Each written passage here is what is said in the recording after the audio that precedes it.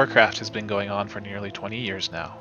It's seen a lot of changes along the way, both loved and hated, yet its player base still remains some of the most dedicated, and people who have long moved on still reminisce about their time in WoW. I personally started WoW at the end of the vanilla life cycle, thanks to my boss at work, and while I haven't played live servers since my mythic days in Legion, I've been very active in the private server community. This last year has been a year of great change for me, and while I did try returning for the release of Classic Wrath, eventually I realized it wouldn't be feasible with my hectic schedule and new family to take care of. There was just no way I was going to be able to stick to any regular raiding schedule. So I amassed a huge following and decided to start my own private server with thousands of players just like me, and I lived happily ever after. The end.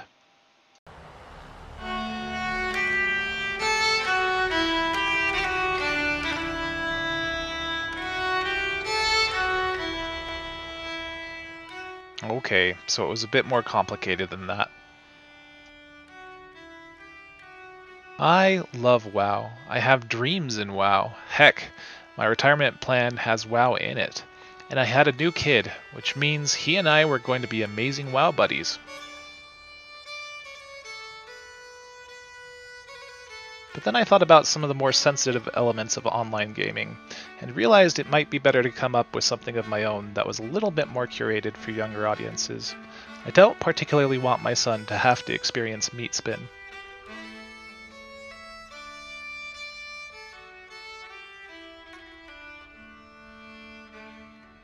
So I started digging around for single player servers and repacks.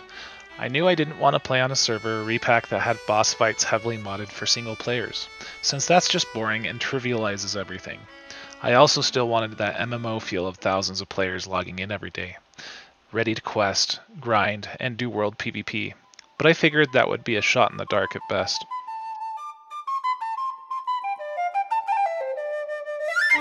But lo and behold, I came across this shady website called the Single Player Project, and found out to my great delight that yes, you can have thousands of bots logging in every day. Yes, you can run dungeons, interact, quest, and PvP with them. You can buy, sell, trade, and even use the auction house. And yes, you can raid with them. Although it is limited unless you're doing easy raids like vanilla or modifying certain fights or making player bots do more damage and healing. But the upside is that no one complains about not getting any loot or being benched for raids.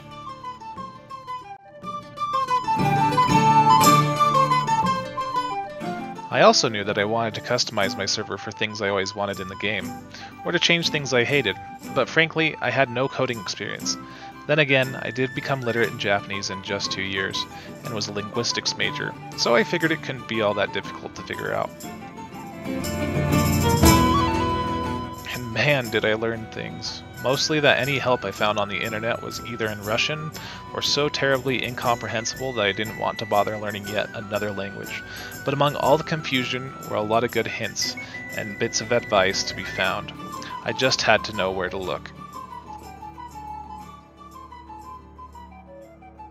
Initially, I was happy just playing the private server with bots and reliving my childhood on my terms without anyone to dictate my raiding schedule. It was nice being able to stop mid-dungeon, feed my kid, and then come back 30 minutes later to all my party members just happily waiting for me, ready to start killing things again. But I wanted more. I wanted a challenge and to create something I was proud of. I wanted my son to feel what it was like playing WoW for the first time without endless guides to be found on the internet.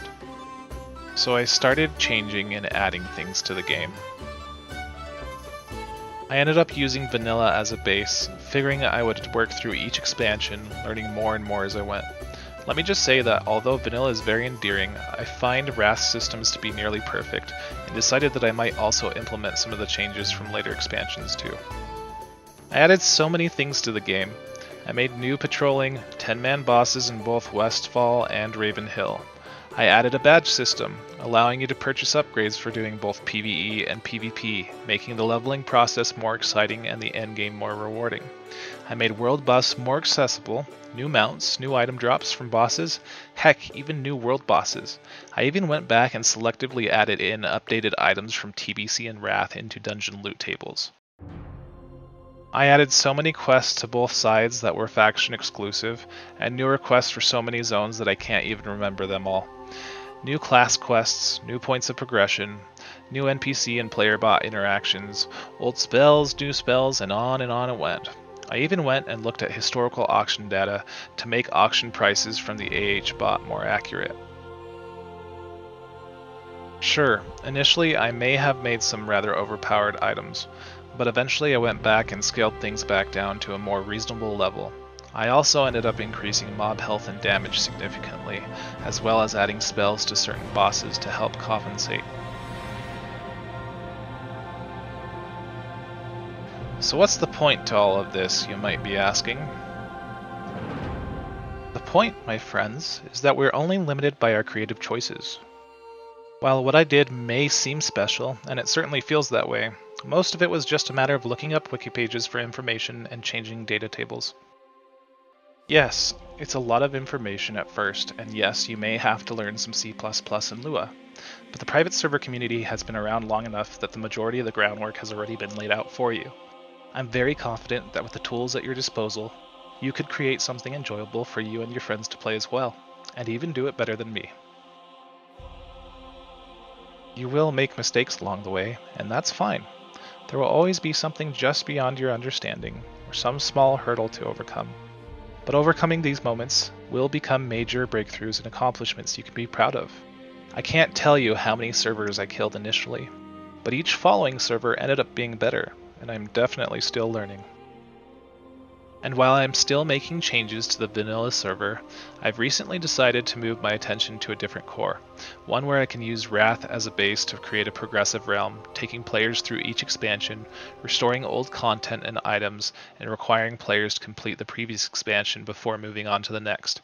NPCs in the world will be aware of your progress and change accordingly, depending on how far you've progressed. There will be a lot more to it than that with even more custom features than my current server, but much of that is still a long ways off. I'm taking some time currently to learn a bit more Lua and C++ so I can comfortably read the core code and make more of the edits I want to see.